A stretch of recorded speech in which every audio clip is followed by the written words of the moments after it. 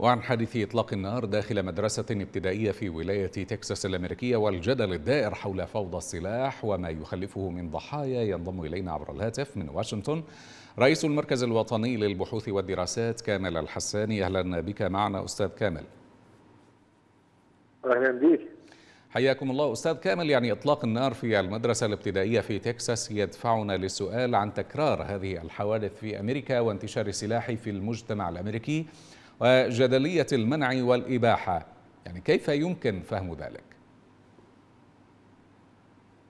الحقيقة أعداد قطع السلاح الموجودة في أمريكا تفوق عن 300 و 700 ألف قطعة سلاح ومسموح بحملها واستخدامها.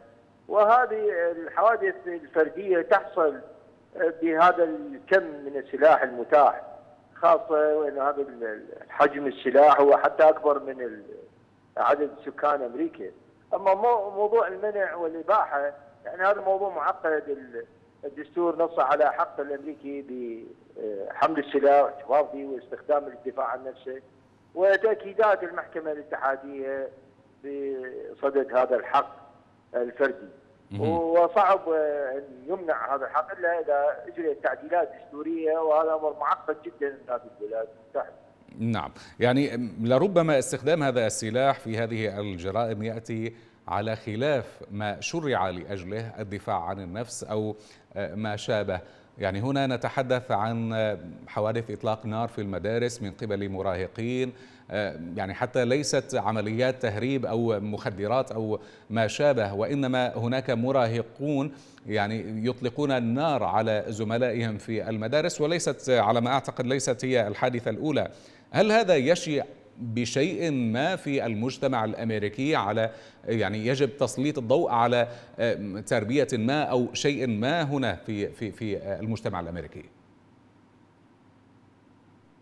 يعني هي هذه الحوادث مرتبطة ب يعني ناس مصابين بعاهات نفسية اكثرهم اللي مارسوا استخدام السلاح الناري ضد الابرياء ومنهم من هو لدوافع عنصرية تحصل خاصة في الولايات الجنوبية. وآخرين حتى يعني من الترف والشهرة يعني ظهر قسم منهم مارسوا القتل الفردي أو الجماعي وظهروا بالإعلام وكأنهم أبطال من السطحيين وأصحاب العاهات والمرضى. وهذا صعب السيطره عليه من الحكومات المحلية أو الاتحادية. إذا كان الدستور الأمريكي يسمح بحيازة السلاح لكن هناك يعني كما تحدثنا وقوع جرائم من وراء هذه الحيازة لربما يجعل من وجود ضوابط لتلك الحيازة واجبا لا سيما وأن هذا السلاح يقع في أيدي المراهقين. ما هي الضوابط التي برأيك لربما تقدم الحكومة الأمريكية على اتخاذها؟ هل ستمنع السلاح أم أن هناك يعني ضوابط أخرى سيتم اتخاذها؟ يعني هذا السؤال يعني الإجابة من جانبين. الجانب الأول الحكومة الاتحادية تحاول أن تفرض قيود على بائعي الأسلحة من خلال أخذ كل المعلومات عن المشترين وحالاتهم النفسية والتقارير الطبية وخاصة في الولايات الوسطى والشمالية. أما بعض الولايات الجنوبية ترفض مثل هذه القيود. والأمر الآخر يعني الجهات الراعية والداعمه لحمل السلاح ومنهم الان ار اي اللي هي المنظمة القومية المشهورة اللي عمرها قرن ونصف وعندها إمكانيات هائلة. يعني ترفض أي قيود لاستخدام السلاح وحتى تحاول أن تعالج هذا الموضوع المدارس بانه سلحت المعلمين ولهذا من الطبيعي أن تدخل إلى المدرسة وتشاهد المعلم يعني في حزامه مسدسه أو سلاح الناري الشخصي ليدافع عن نفسه أمام طلاب يعني ما يقدر يحرزهم إذا استخدموا السلاح ضده.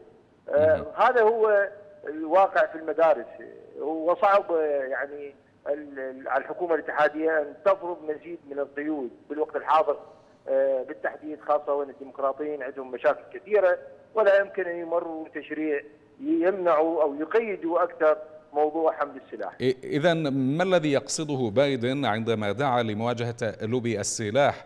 هل هل يعني يحشد لشيء ما؟ هل يستطيع فعلا محاربة السلاح؟ وخاصة يعني محاربة لوبي السلاح الذي تحدثت عنه. لا أعتقد إنه قادر على أن ينجح في وهي حملات يعني سمعناها من الديمقراطيين يعني من سنين ويكرروها في كل الحملات الانتخابية للكونغرس أو للرئاسة ولكن لم يحصل حل عملي لهذا الموضوع وسيبقى هذا موضوع صراع بين المحافظين وبين الديمقراطيين ولن ينتج إلى تعديل لموضوع حق الأمريكي بحمل السلاح إلا إذا تم تعديل الدستور هذا حسب تقديري ومراقبتي لل نعم. لوضع يعني في السلاح في أمريكا. سيد كامل يعني في مثل هذه الحوادث نلاحظ دوما أن هناك مسارعة لاتهام إسلاميين لربما يعني وتجيش حملة الإسلاموفوبيا في أمريكا وفي أيضا أوروبا. ولكن هنا يعني أثبتت أن الجاني ليس مسلما. هل من شيء نقوله هنا في في هذا الصدد؟ يعني ما الذي كيف لربما تلقف الأمريكيون هذه الحادثة خاصة أن الذي الجاني فيها ليس مسلما؟ بالضبط. يعني هذا المنظمة القومية الأمريكية عندها نفوذ وعندها أقوى شركات اللوبي هنا في أمريكا.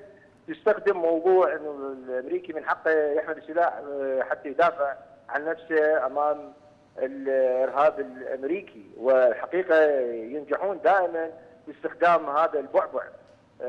واللي أغلب الحوادث اللي حصلت هي من غير المسلمين. ومع ذلك وقسم منهم من المسيحيين ضد اليهود المساكين. ومع ذلك مستمرين باستخدامه لأنه هذا منتج بالوسط الرأي العام الأمريكي وسيظلون يستخدمون هذه الحجة إلى آمد طويل. نعم اذا رئيس المركز الوطني للبحوث والدراسات شكرا جزيلا لك.